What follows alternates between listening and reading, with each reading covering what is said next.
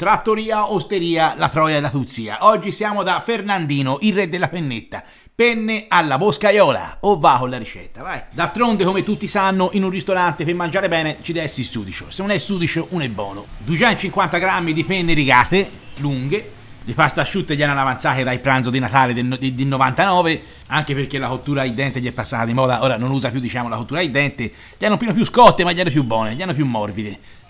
Dice, oggi che si fa da mangiare? Bah, fo due penne, due patte asciutte, hai il sugo veloce, alla boscaiola, almeno non, non sto a insudiciare. Ketchup, maionese. Sai, sciorta che piglia dopo. La dissenteria e la troia alla suzia. Oh, il pentolino gli è, gli è il pezzo forte. Anche il muro, magari una bella rintonata, una bella rimbiancata, non ci starebbe male, eh? Mmm, mmm, mi fa quasi gola. Mi fa quasi gola, guarda. In chimia piena, ma che scherzi.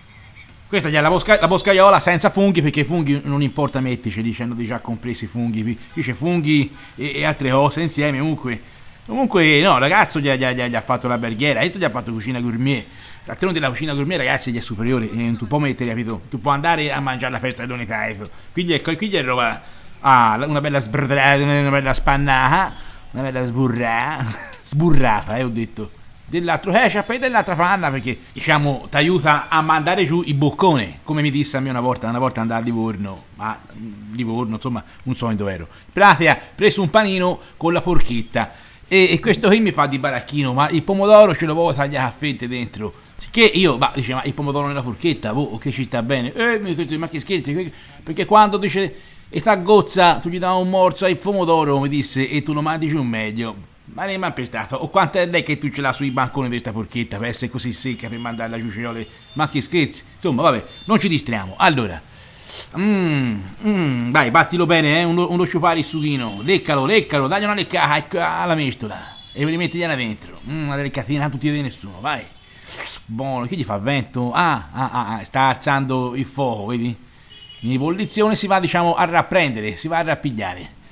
La va saltata bene bene, va, rimischiagne, vai, oh, va, ah, nei piatti, sei cascati fuori, eh, sei cascati fuori nei piattino della Pampers, di pannolini, comunque, vabbè, una bella sgrattugiata di parmigiana, una bella sparmigiana, buono, voilà, dell'altro, di più, poi rimesta ne metti ancora. Osteria Trattoria da Fernandino, ragazzi, il re della pennetta.